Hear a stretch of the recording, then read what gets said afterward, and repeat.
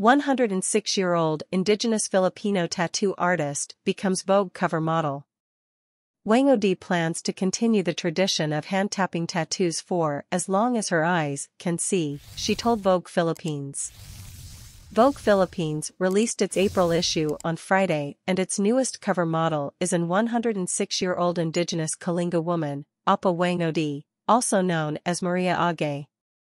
Wang Odi, from the small mountain village of Buscalan in the Philippines, is considered the country's oldest Mambabatok, traditional tattooist. She has become famous for mastering a 1,000-year-old batok tattooing technique, which uses a traditional tapping method utilizing charcoal soot and a sharp stick. She began learning the traditional method from her father at 16 years old, the magazine reported. Apo Maria Whang-Od Oggay symbolizes the strength and beauty of the Filipino spirit, Vogue Philippines wrote in a tweet. Heralded as the last Mambabatok of her generation, she has imprinted the symbols of the Kalinga tribe signifying strength, bravery and beauty on the skin.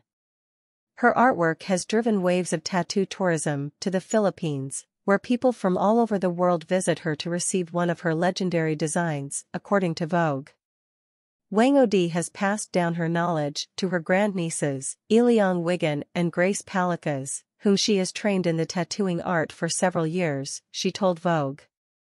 Her work has inspired a new generation of batok artists in the Philippines and United States, the magazine reported.